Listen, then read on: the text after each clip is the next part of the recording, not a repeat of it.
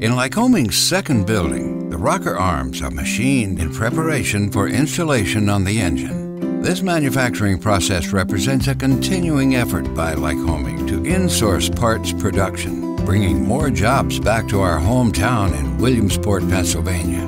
Lycoming's rocker arm production process is built in a cell format, meaning every employee who works in the cell can complete all tasks required to manufacture these parts.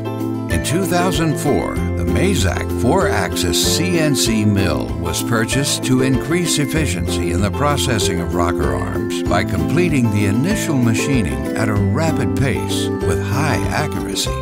The start of the production begins with rocker arm forgings being placed in fixtures for processing. After one cycle, each rocker arm is reoriented by a production associate and different features are machined. Then each part is deburred and hand inspected by a Lycoming employee for any wear that would make the part unusable. Every approved rocker arm is marked with a specific part number and the date it was processed. This helps Lycoming manage traceability for quality control purposes. The part is then sent into heat treatment for hardening to help prevent wear over time. To start the finishing processes, Lycoming employees pass the rocker arm through a series of machines that grind the internal diameter, sides of bosses, and the shoe radius, all within tolerances of less than 3 thousandths of an inch.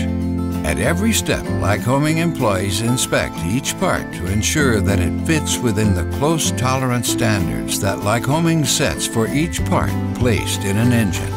Even the smallest deviation can lead to the part being scrapped.